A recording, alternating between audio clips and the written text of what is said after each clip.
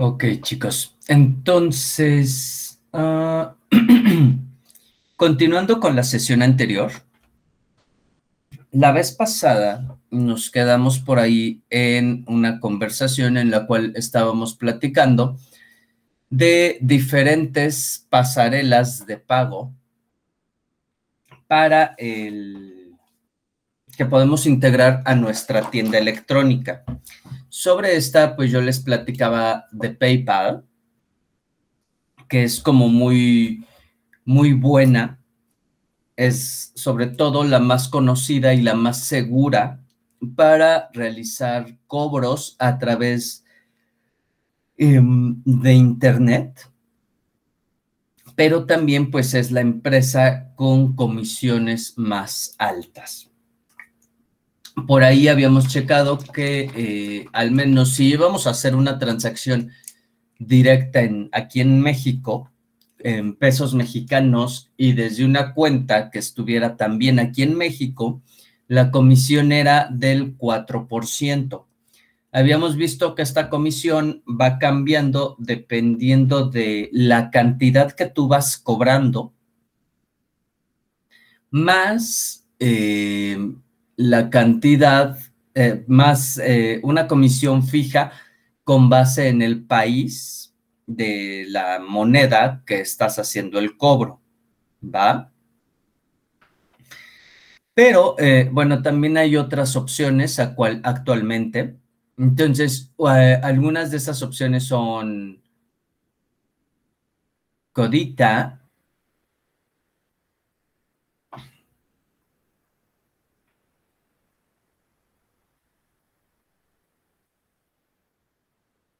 Entonces, Codita también te permite eh, realizar cobros a través de Internet.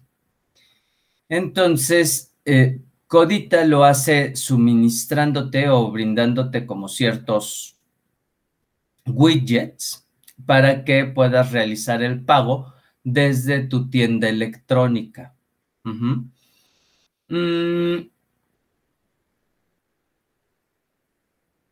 Entonces, es eh, para el uso de este de esta, esta framework o de esta aplicación para realizar cobros, lo que ustedes tienen que hacer es básicamente contratar un, eh, no contratar, perdón, instalar un plugin extra en WordPress y a partir de configurar ese plugin con los datos de su cuenta, pues ya pueden este, comenzar a realizar sus, sus pagos. Es importante que sepan que esta empresa es española. Entonces, aunque puede hacer cobros eh, en todo el mundo, Incluso si ustedes son, por ejemplo, de aquí de México y van a hacer cobros aquí en México, también pueden trabajarla, solo que eh, aquí la situación que tiene que ver con impuestos, pues sí es, es importante de checarla porque aplican mucho eh, pues los impuestos que puedan cobrar en España y no los que puedan cobrar en México. Entonces, por ahí la situación contable puede volverse un poquito complicada al principio, al menos en lo que van conociendo acerca de las eh, reglamentaciones de los dos países. ¿De acuerdo?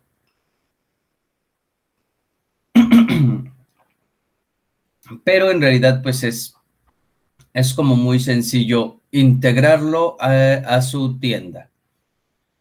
Mm, los precios que manejan ellos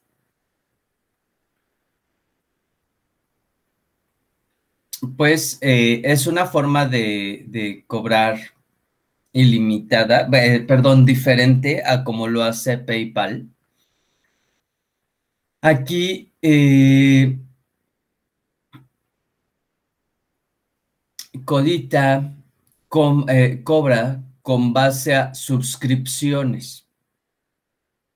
Pueden hacer un prepago que les cuesta 10 euros habíamos visto, si no mal recuerdo, me habían comentado que el euro en estos días andaba como por 24, 25 pesos.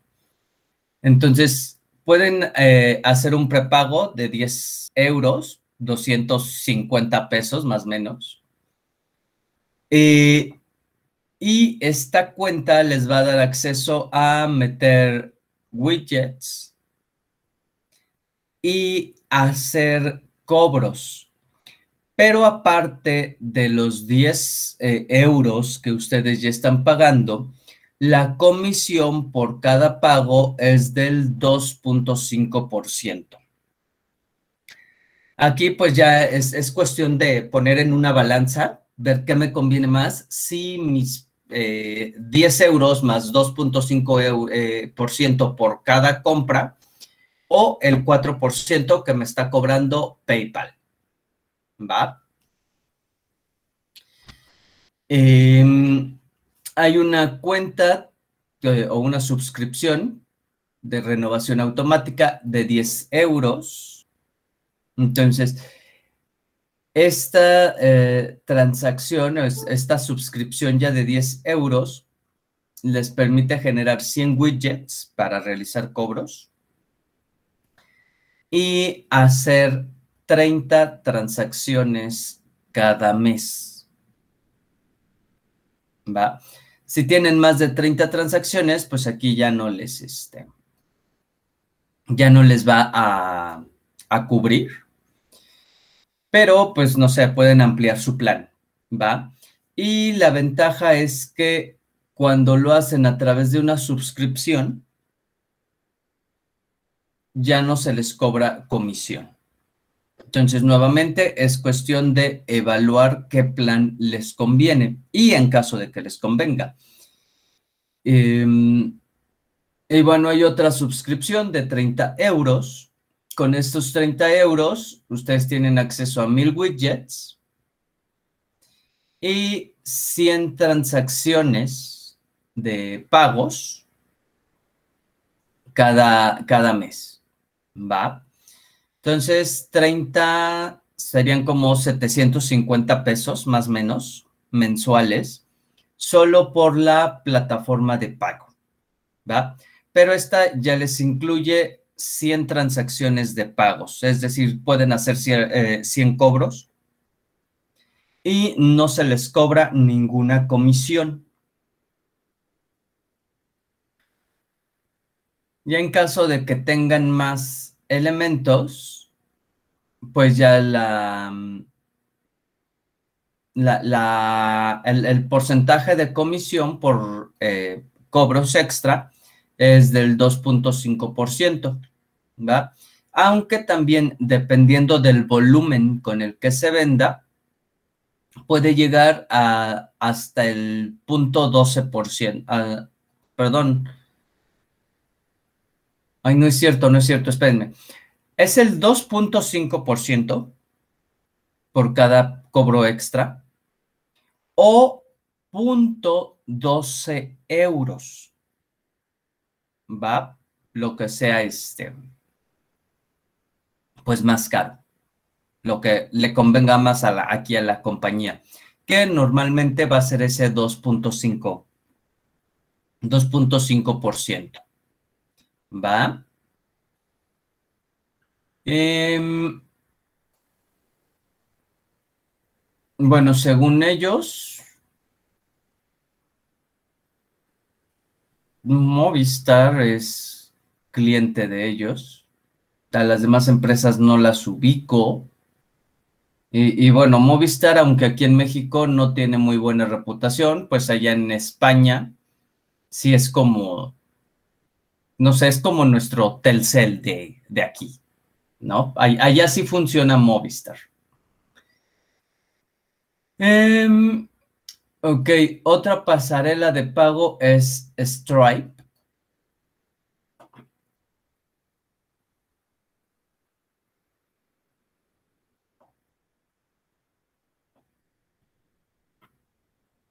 Stripe pues sí es más conocida. A Stripe la conocen en, la tienen implementada en Rappi, en Corner Shop, Google parece que cobra a través de la plataforma de Stripe, Amazon, eh, Zoom, Shopify, Mascota y alguna empresa que se llama Ciclo.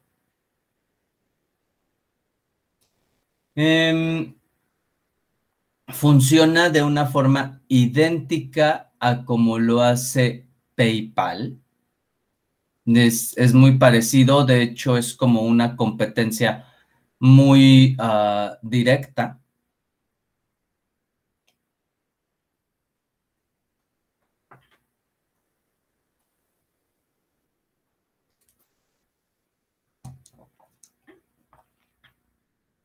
Y respecto a sus cobros,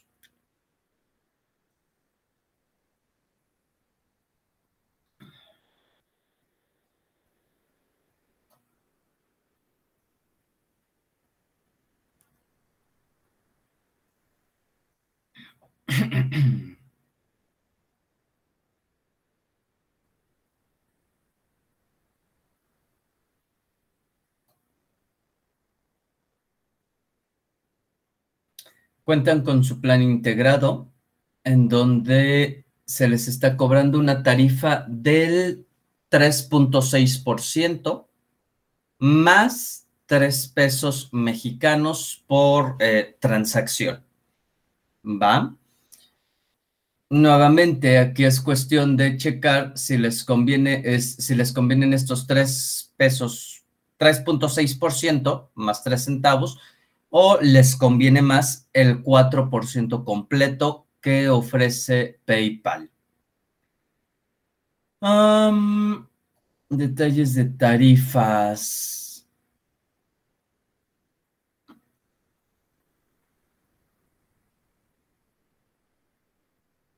Ok, pagos con tarjetas de crédito y débito, todo en una sola exhibición, eran los 3.6% más 3 pesos mexicanos.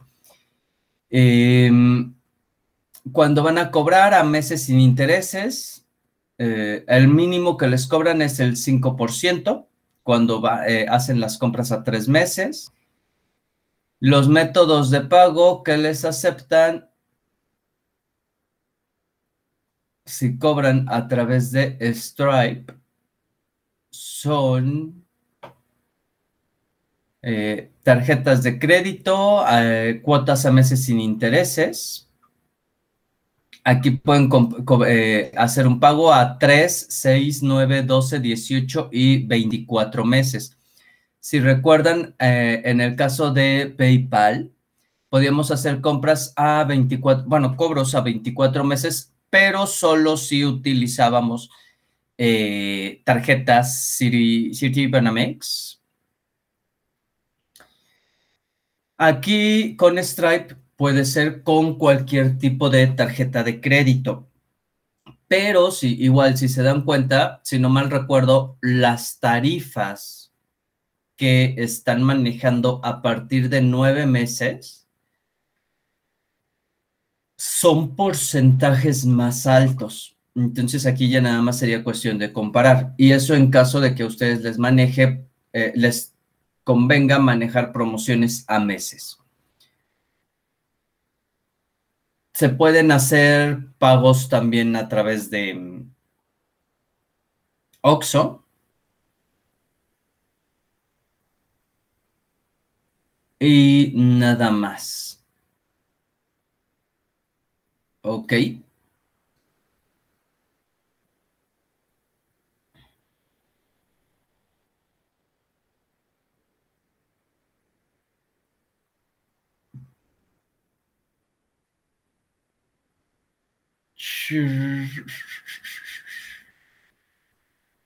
Ok.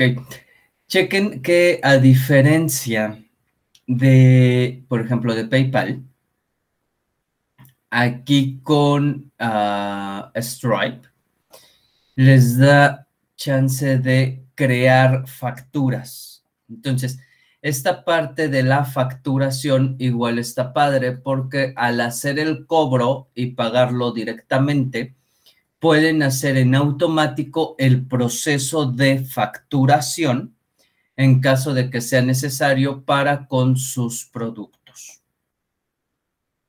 Entonces esta opción pues está como, como agradable.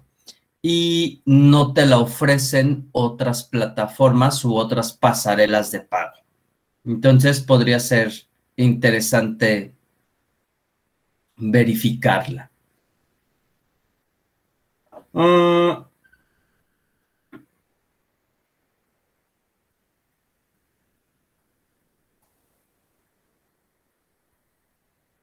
ok, entonces eso fue Stripe. Y hay otra que es marketing, eh, perdón, que es OpenPay.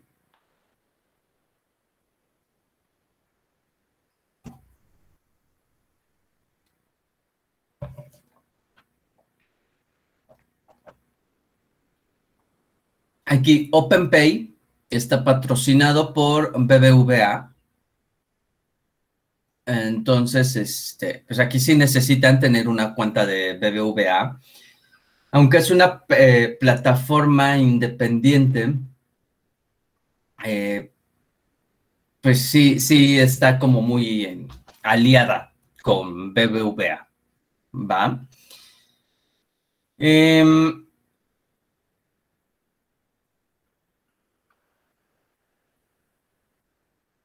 Vamos a checar los cobros, la parte de cobros.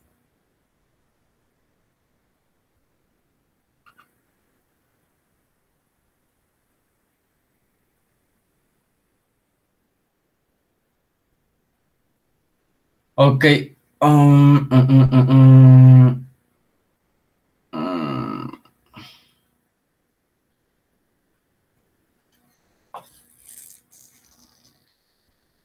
Creo que no tienen sus cobros de, eh, públicos. Recibe pagos con tarjetas de débito y crédito, transferencias bancarias o en efectivo. Beneficios, altura de 24 horas, significa tu alcance y vende, recibe pagos a cualquier hora del día. Pero no tienen sus pagos. Ok. OpenPay funciona de una forma distinta a como lo hacen las demás pasarelas de pago. Aquí lo que sucede es que cuando tu cliente te compra, tú le vas a generar una orden de pago. Esa orden de pago ya la generas dentro de tu aplicación de OpenPay y a través de un email, eh, tú le mandas un email a tu cliente con una liga para realizar el pago que debe hacerte. Es un pago eh, o un modelo un poquito más engorroso, pero posiblemente resulte ser también un poco más económico. ¿De acuerdo? Sobre todo si tienes una tienda en línea que em, en muchos casos se administra sola, pues sin problema, ya cuando tu cliente te, va, te hace la compra, puedes enviarle en automático el email con el hipervínculo para que eh, haga el pago. Pero igual, eh, si no cuentas con este tipo de automatización, el problema va a ser que eh, pues tienes que estar haciendo, tienes que estar revisando constantemente tu plataforma para ver en qué momento tienes que generar eh, los emails para enviárselos a tus clientes. ¿Va? Em,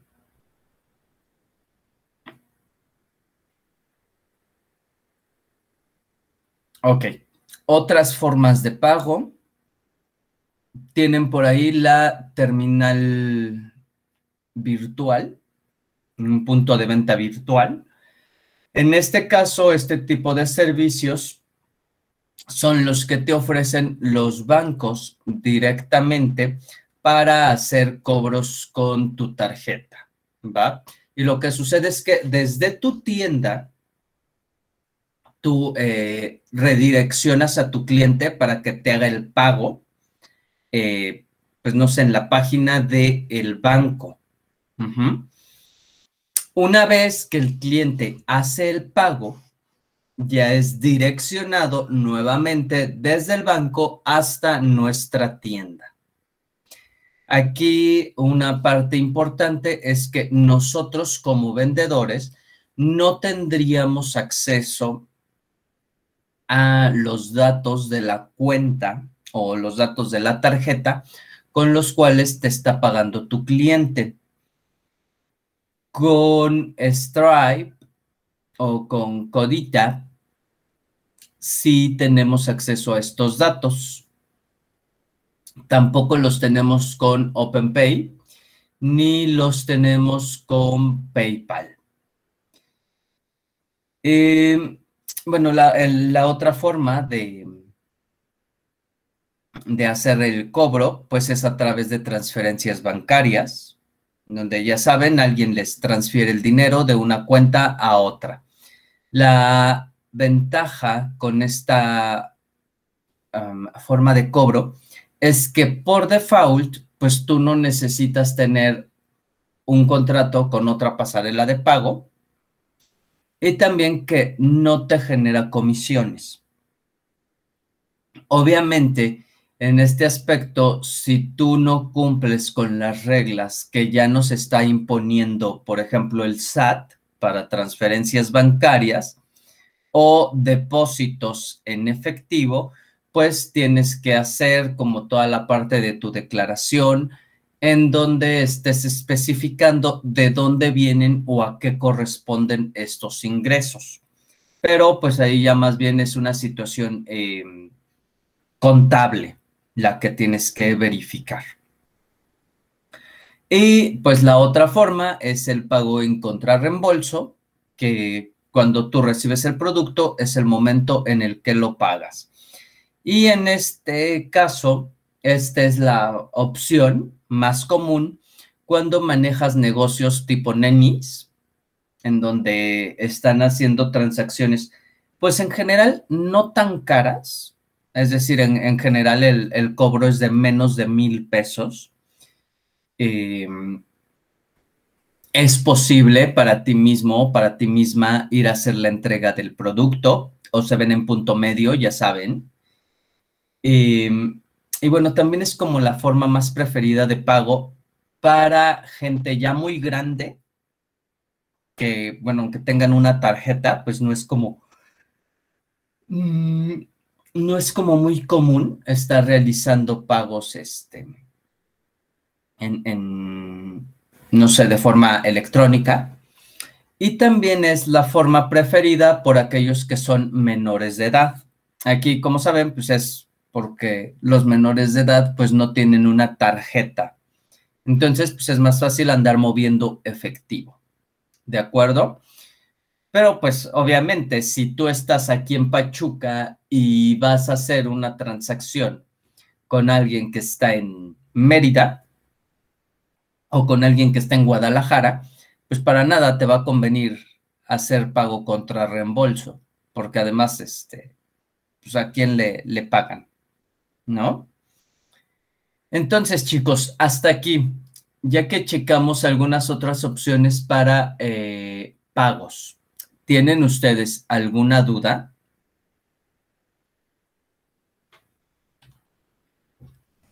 No, profesor, ya como dices, checar cuál nos conviene. Pero, por ejemplo, en las primeras no se hace ese tipo de declaraciones se hace cuando eh, el dinero ya es transferido, por ejemplo, de PayPal a tu cuenta bancaria. O con Stripe, pues sí se hace también cuando el dinero ya es eh, enviado de tu cuenta de Stripe a tu banco. Pero en realidad, pues este, este tipo de situaciones, este tipo de pagos, no es propiamente eh, no, es onda de la, de la empresa de cobros, sino más bien eh, pues son, es parte de, de, de, tus gobiernos, de tus gobiernos con el SAT y toda esa parte, toda la, la parte contable, toda la parte fiscal. ¿Me explico? Sí. Gracias. Vale. ¿Alguna otra pregunta, chicos?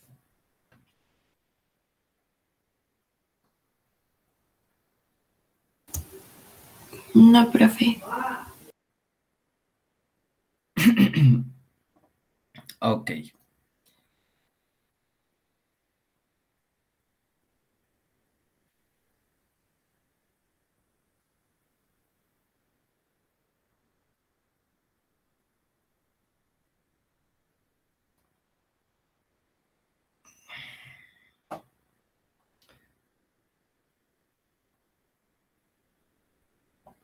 Muy bien. Entonces, vamos a comenzar a revisar los temas de administración y gestión de nuestras tiendas en línea.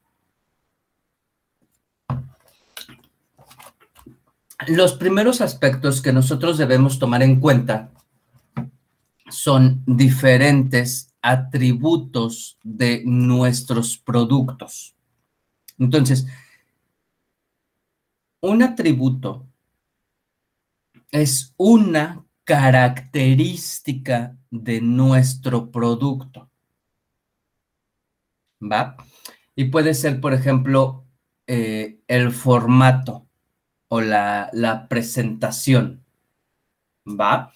¿Cómo estamos adquiriendo el producto? Aquí yo les pongo un ejemplo del de, azafrán. Entonces, por ejemplo, tú puedes comprar el azafrán en comprimidos, granulado, en hebras o molido. Entonces, el cómo, el, el, valor de esta característica, en este caso de la característica del formato, los distintos valores que pueden tomar son los valores de los atributos. ¿Va? También, ¿cómo lo puedes vender? El atributo peso. Entonces, puedes venderlo en presentaciones de 1 gramo, 100 gramos, 2.5 gramos, 5 gramos, etcétera, dependiendo de cómo lo tienes disponible a la venta en tu tienda electrónica. Puedes tener el atributo peso, pero diferentes valores para ese atributo.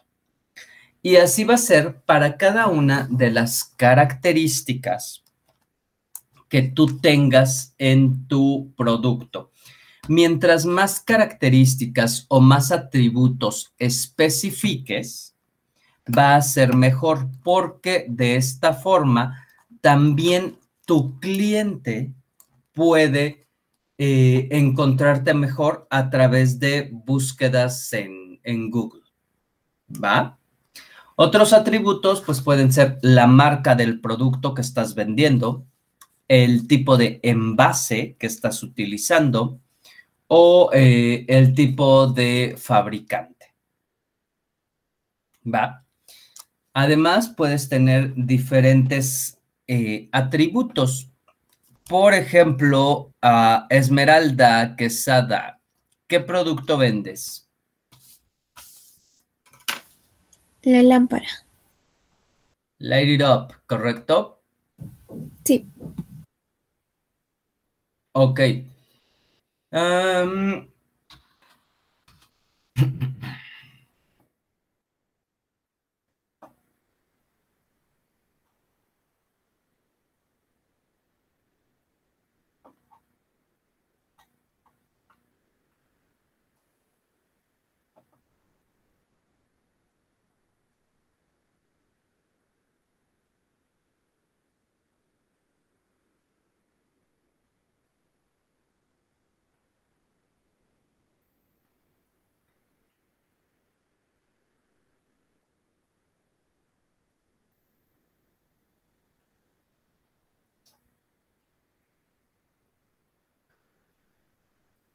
solo venden un modelo de lámpara.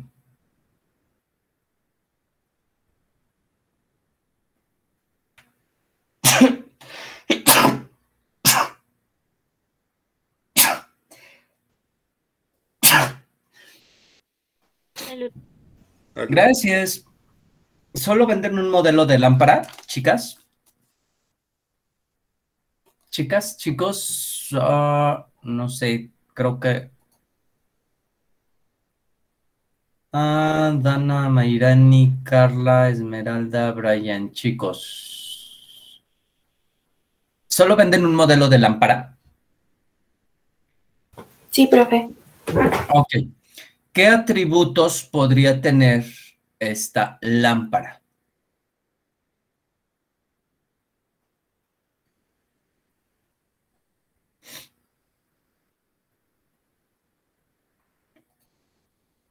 ¿Qué características puede tener la lámpara? ¿Qué es práctica? ¿Puede ser? ¿Cuál sería el, el atributo y qué valores podría tomar Jimena? Mm.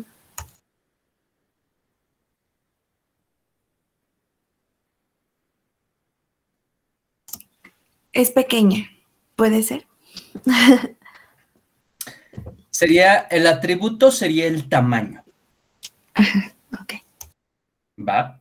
Y eh, el valor del atributo, pues sí, ya podría ser como pequeño, ¿no? Sería como tamaño, peso. Ajá. Altura, Tamaño, peso, ¿qué más? altura. Ajá. eh,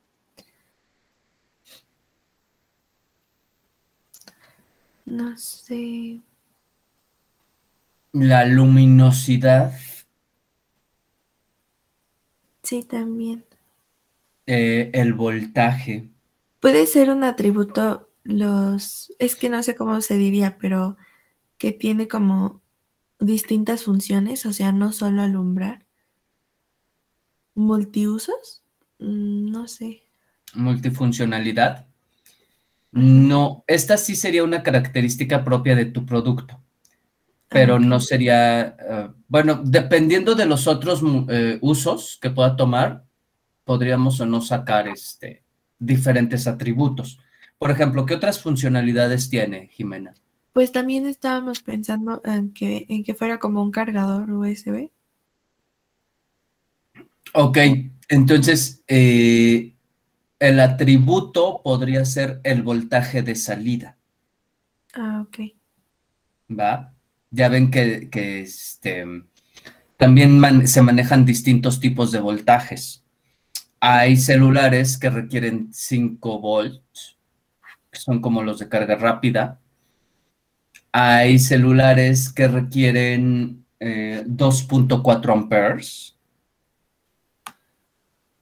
Y hay ot- eh, que son normalmente los celulares que utilizan Android, pero por ejemplo, iPhone, si no mal recuerdo, lo maneja a 1.2 amperes. ¿Va? Entonces sí podrías tomar como atributos los valores de eh, salida, el voltaje de salida o el amperaje de salida de tu, eh, de tu lámpara. ¿Va? Sí, profe. ¿Qué otra cosa podría ser un atributo?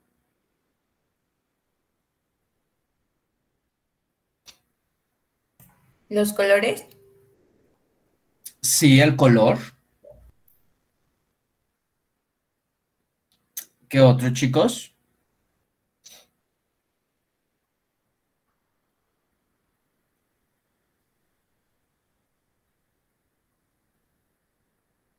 El material.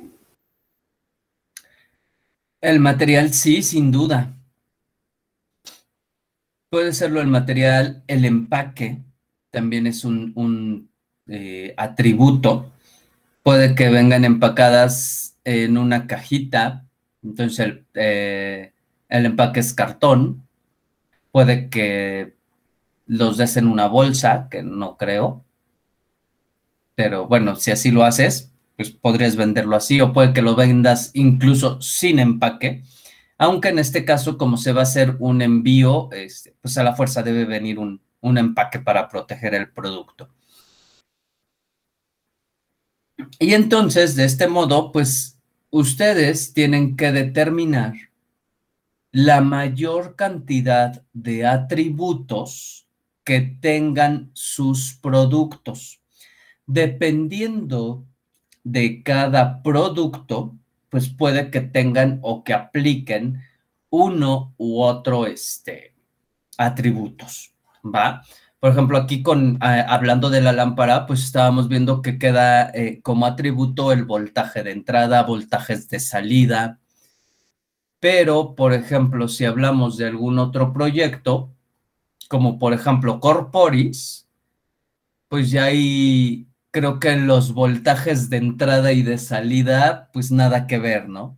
Entonces serían elementos que no entran eh, bueno, perdón, serían atributos que son buenos para Light It Up, pero no lo son para Corporis. Entonces, Corporis, que se dedica a vender eh, crema exfoliante a base de azúcar y café, qué rico, este, va a tener otros atributos. En este caso, por ejemplo, los atributos de Corporis podrían ser el tipo de, mm, el tipo de empaque que están manejando. Pueden manejarlo en envases de plástico o en envases, envases de cristal. Podrían manejar distintos gramajes. Entonces el gramaje podría ser un atributo. Eh, si todas las cremas eh, son solo de azúcar y de café, pues entonces el, olor o aroma, mm, pues sería para todos los casos, siempre café, azúcar y café. Pero igual, pues pueden tener diferentes eh, valores para este atributo. ¿De acuerdo? ¿Qué otros atributos podría tener, por ejemplo, corporis, chicos?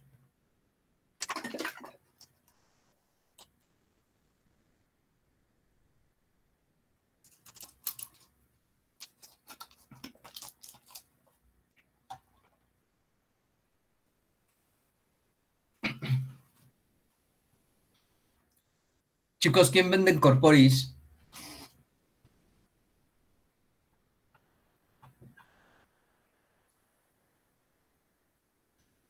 Montserrat, Estrella, Karen, Denise, Daniela y Leonardo. ¿Qué atributos pueden encontrar en su eh, producto? Puede ser el modo de fabricación.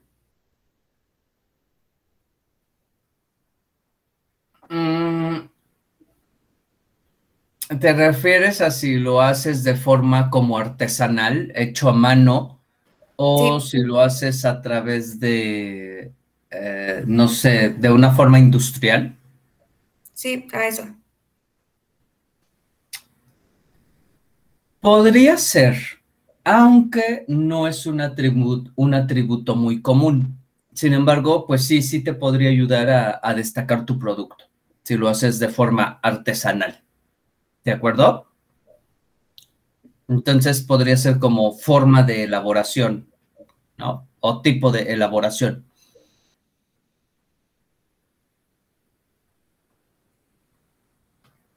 ¿Qué otros atributos podrían ver en este producto, chicos? Pues podría ser el tamaño y el contenido, ¿no? En mililitros. El gramaje. Bueno, en gramos, sí. Pensé que Sí. Sí, podría ser el, el gramaje en caso de que manejen distintos gramajes. El olor. El olor, el aroma, ajá. El color, la consistencia.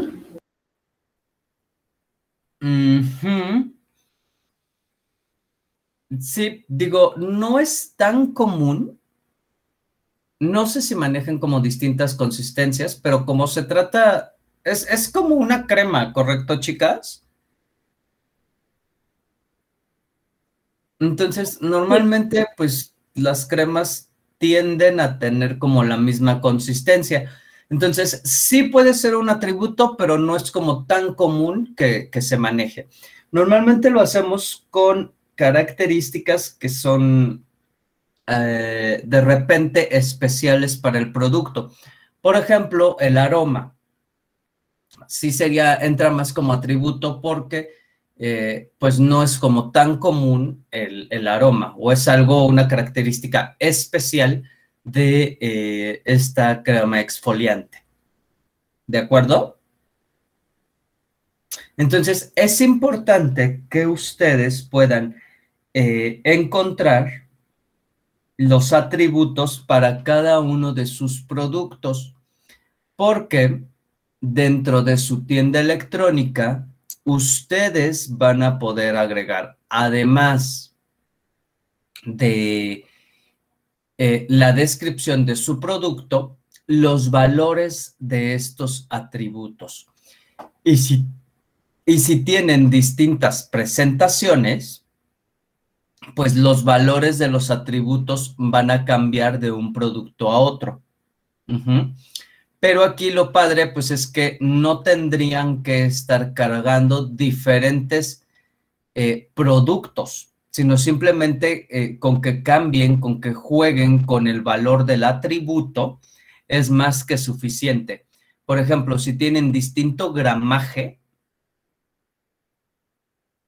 eh, ustedes crean su producto, ahí meten el atributo del peso y ahí ya le meten los distintos gramajes que tienen. Entonces, el cliente viene, llega a tu tienda, quiere comprar el producto y a la hora de añadirlo al carrito, se va a dar cuenta que hay distintos gramajes. Entonces ya ahí él selecciona el gramaje que a él le interesa. Si tienen diferentes eh, empaques, y le dan al usuario o al cliente la opción de seleccionar el adecuado para él, pues también es un atributo que el cliente puede eh, elegir. ¿Va? Y todo lo hacen sin agregar nuevos productos. Entonces, con un solo producto, el cliente puede elegir las características o los atributos que a él le interesan. ¿Va?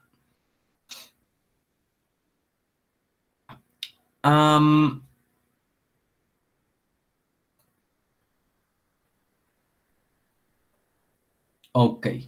O sea que él escoja los atributos para su producto, para el producto. Ajá. Bueno, pero es que creo que ¿Tú defines? Perdón, Iván. Ah, bueno, es que creo que al final lo que más se puede cambiar es, como que la cantidad de productos que va a adquirir. Porque creo que muchos solo son de uno. pero pues puedes hacer también como paquetes. O aunque sea un solo producto, lo puedes vender con distintos gramajes, ¿no? Bueno, sí, también. Entonces es, es, sobre todo esa parte. Puedes vender el producto con distintos gramajes. Ahora, es importante que ustedes sepan que entre más variedad tú puedas tener para con tus eh, clientes, pues va a ser más fácil venderle. Porque habrá quienes te quieran eh, comprar, por ejemplo, la crema en un gramaje pequeño la primera vez, para ver si les funciona, para ver si les gusta.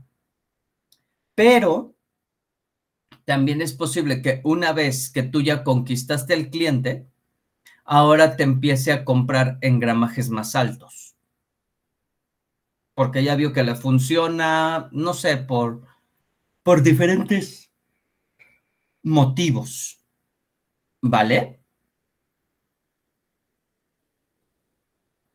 Sí, profesor. Ok. Entonces, chicos, hasta aquí, ¿alguna duda? No, profe. No, profesor. Ok.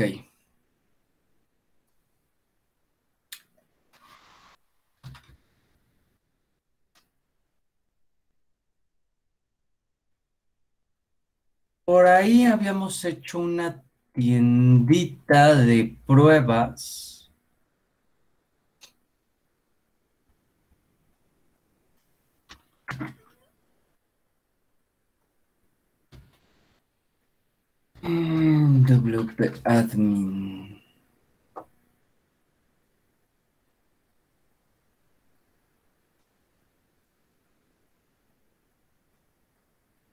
Y teníamos, por ejemplo, la pizza como producto. Ah, ya no me acuerdo qué contraseña le había metido.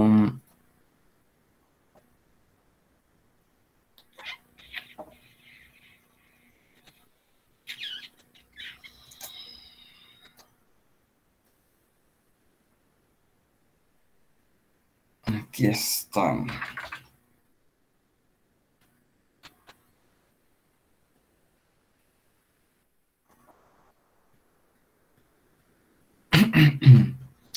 Entonces, em,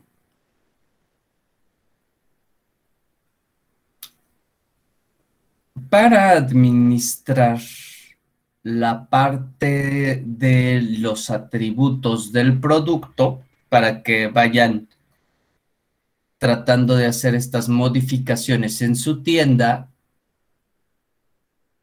cuando ustedes se van a editar el producto,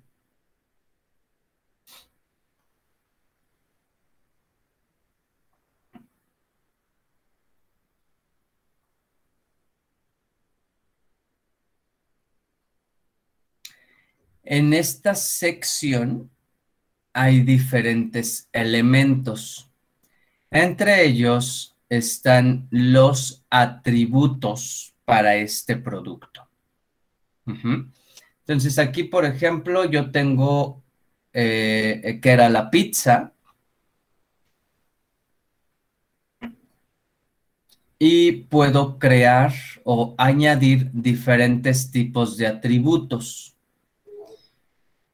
Por ejemplo, un atributo para la pizza podría ser el tamaño. Y el tamaño podría ser, no sé, este, individual, coma, mediana, grande, familiar y extra grande, ¿no?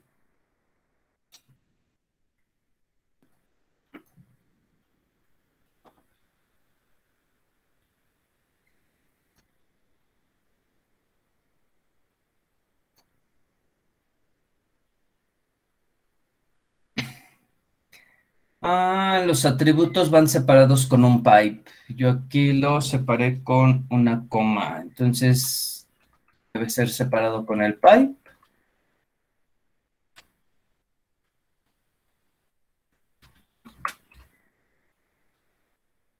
Ok, ah, otro atributo para la pizza.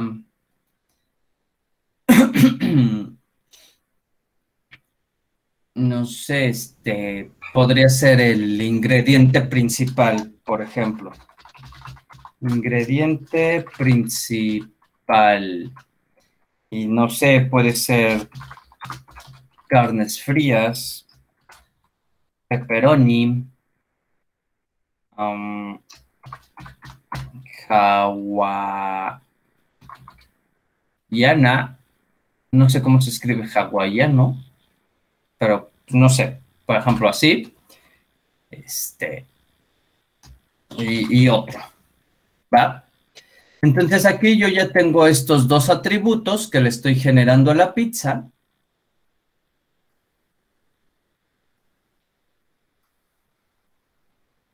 Y si ahora me vengo a la página del producto,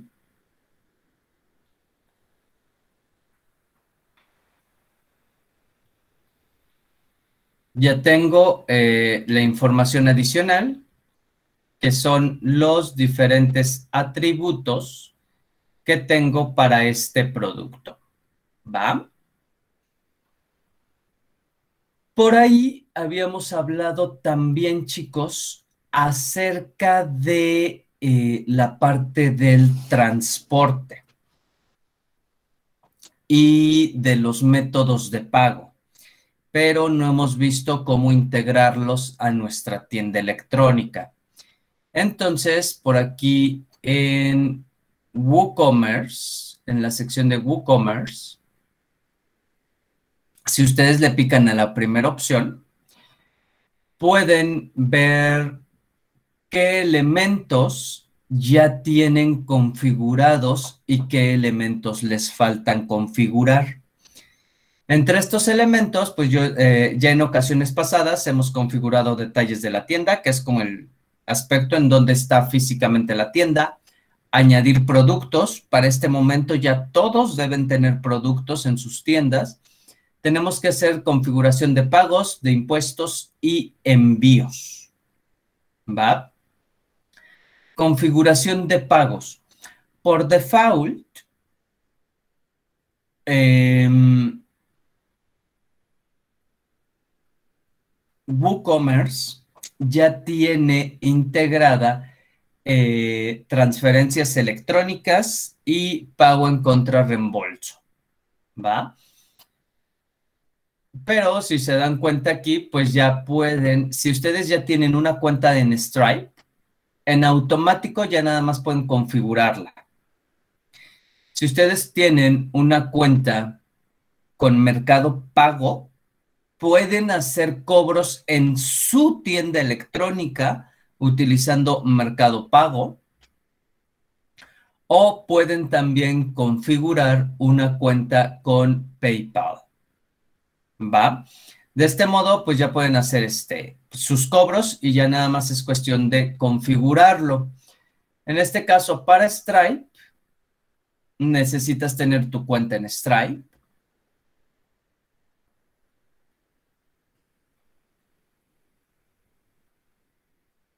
Se instaló un plugin para comprar, cobrar con Stripe. Y pues ya nada más es cuestión de configurar. Puedes activar o desactivar esta forma de pago. Aquí está activa. Tarjeta de crédito Stripe es la forma de pago.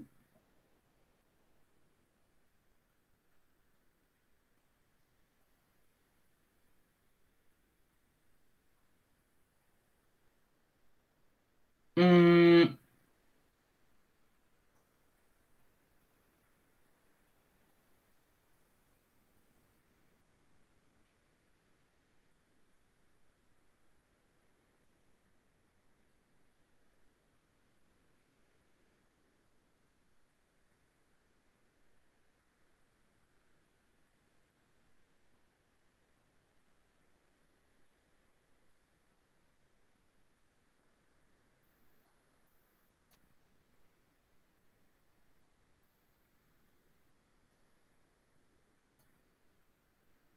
Aquí,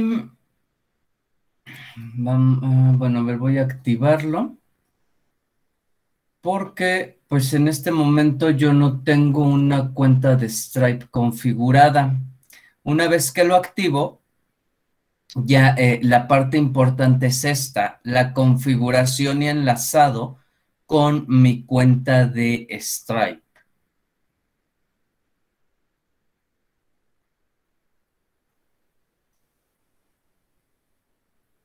Entonces, aquí, pues hasta aquí nos, nos vamos a quedar con, este, con esta configuración de este método de pago, porque no tengo una cuenta en Stripe, pero pues sí pueden, este, vamos, de aquí ya nada más sería iniciar sesión con Stripe y en automático se va a vincular con nuestra tienda electrónica, ¿va? En realidad el proceso pues no es tan complicado.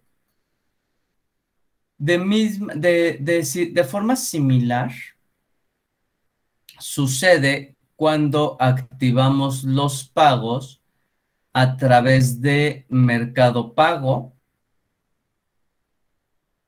Ah, bueno, aquí voy a desactivar mi cuenta Stripe o mi método de pago Stripe. Pero la misma configuración o una configuración similar sucede cuando nosotros vamos a pagar utilizando PayPal eh, o Mercado Pago. Nuevamente, si me voy a la configuración de mis pagos, está la configuración de Mercado Pago y PayPal. Después podemos hacer pago en contrarreembolso, que es Cash on Delivery. Simplemente podemos activarlo, activar esa opción. Eh, o activar también la parte de pagos con transferencia bancaria. En este caso, pues simplemente tienen que agregar el nombre de la cuenta, que podría ser, este, no sé, la cuenta está a mi nombre, el número de cuenta, que, pues no sé, uno, dos, tres, podría ser, por ejemplo, este el número de cuenta, nombre del banco, no sé, este, BBVA, código de clasificación, ay, no sé, ZZZ. Mm.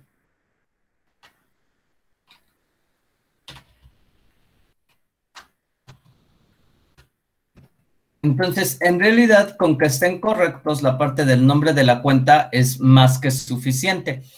Automáticamente, este nombre de la cuenta, pues ya incluye cuando ustedes ya lo ingresan correctamente, desde los primeros dígitos se puede ver eh, el nombre del banco, sucursal, el tipo de cuenta que es, e incluso el saber si es una cuenta que está eh, amparada con una tarjeta que eh, está respaldada ya sea por Visa o por Mastercard.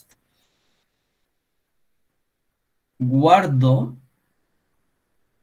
y listo, y está la parte de mis pagos.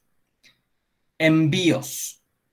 Recuerdan que em, habíamos quedado que tenías tres formas diferentes para cobrarle los envíos a tus clientes.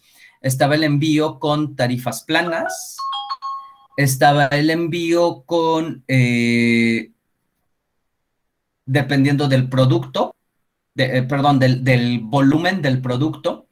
Y la tercera opción que le podías ofrecer a tus clientes eran diferentes proveedores con em, diferentes proveedores cobrándoles también con base en el volumen. ¿va? De aquí, pues ya en este caso, pues ya el, cliente elegía qué proveedor quería pagar para realizar su envío. Entonces, aquí, em, pues la parte interesante es que a través de eh, el complemento de WooCommerce, tú puedes establecer los dos tipos de envío, los dos costos, los tres costos de forma eh, independiente. Si tú vas a hacer un cobro de tarifa plana, es decir, a todos les vas a cobrar lo mismo independientemente de dónde se encuentren, puedes establecerlo en este espacio, ¿va? Cobros para México, no sé, este, yo mis envíos dentro de México los voy a establecer en 250 pesos. Y para el resto del mundo, no sé, en 500 en 550. Por ejemplo, ¿va?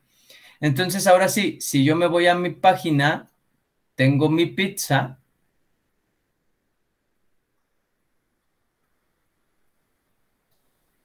Voy a añadir, este, no sé, quiero tres pizzas. Las voy a añadir a mi carrito. ver carrito. Y listo. Ya está, aquí tengo mi producto, son tres pizzas, el subtotal es de 450 pesos. Puedo aplicar algún cupón de descuento y chequen. Ya el envío me aparece aquí, ya me aparece el precio fijo que esté en los 250 pesos porque es un envío a Hidalgo. Puedo cambiar de dirección. Ah, no sé, quiero que me las mandes a Guerrero.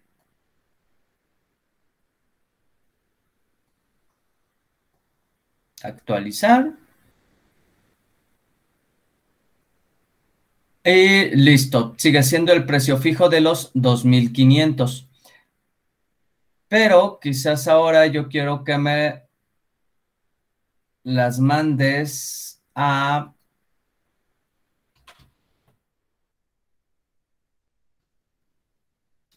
Francia, no sé, este, ya Francia, ¿va? Habíamos quedado que para el resto del mundo el costo iba a ser de 550, ¿va? Y ya en automático, pues te los va, te los va tomando. Si se dieron cuenta, la página detectó que yo estoy en este momento en Hidalgo, por eso igual la, el, el costo inicial me lo estaba dando en Hidalgo. Entonces, esa es otra de las situaciones. Eh, si tu cliente tiene activada su ubicación, esta puede ser detectada sin problema en, en automático. ¿Va? Ahora, dentro del mismo eh, complemento de WooCommerce, en la parte de ajustes, tienes una pestaña que dice envío. Estos son los mismos ajustes que puedes hacer por el enlace, perdón, por el asistente, pero aquí ya están como más detallados. ¿Va? Chequen. Puedes crear zonas geográficas y a cada zona meterle un método de envío. Por ejemplo, yo aquí tengo la región México, pero también puedo crear, por ejemplo, distintas zonas de envío donde ponga, por ejemplo, mi zona local.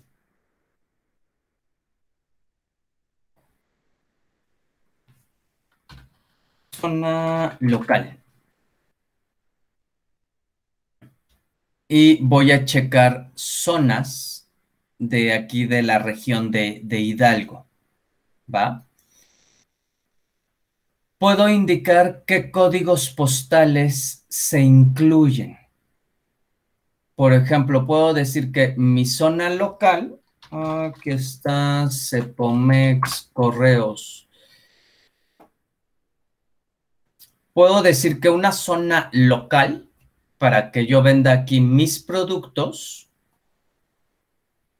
puede ser del estado de Hidalgo, el municipio, por ejemplo, de Pachuca. Pachuca, buscar.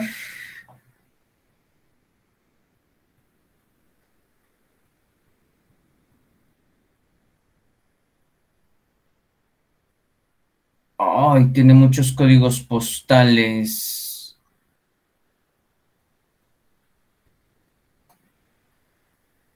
bueno, digamos que yo me, genero estas, estos códigos postales que son de todo Pachuca.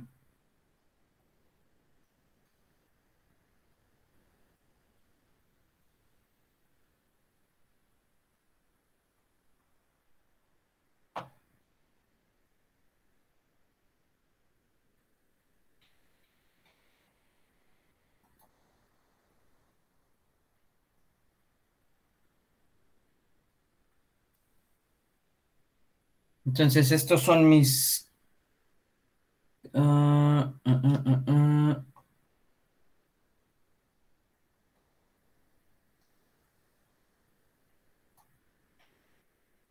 Voy a conservar solo los códigos postales.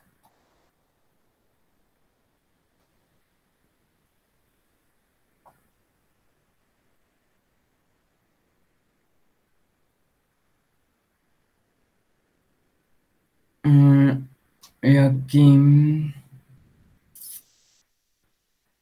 había una forma para detectar solo los valores diferentes.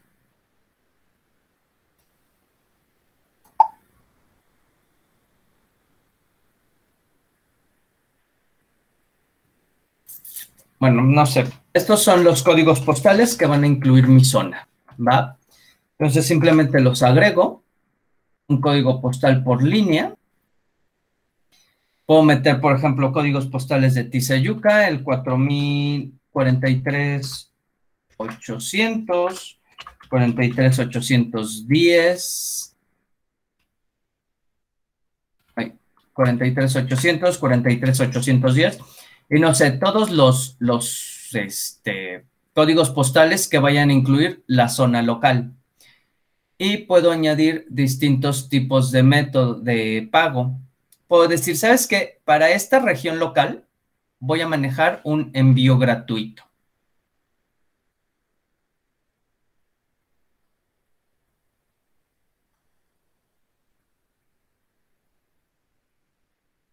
Y listo, se guardan ya los cambios, ya no hay ningún problema. Ahora, cuando el cliente te compre, pero ya tenemos tres zonas, ¿va? Ya está la zona de eh, todo el mundo, México y mi zona local. En mi zona local, pues tengo el país, las regiones Hidalgo. Entonces, si solo lo dejo en Hidalgo en general, el costo es de 250. Pero si, por ejemplo, yo lo metiera en el 43810, ájale, jaleo. Bueno, les checo cómo está lo de la, la zona, porque aquí me lo sigue cobrando en 250 y debería ser un gratuito. ¿Va? Pero se los checo, chicos.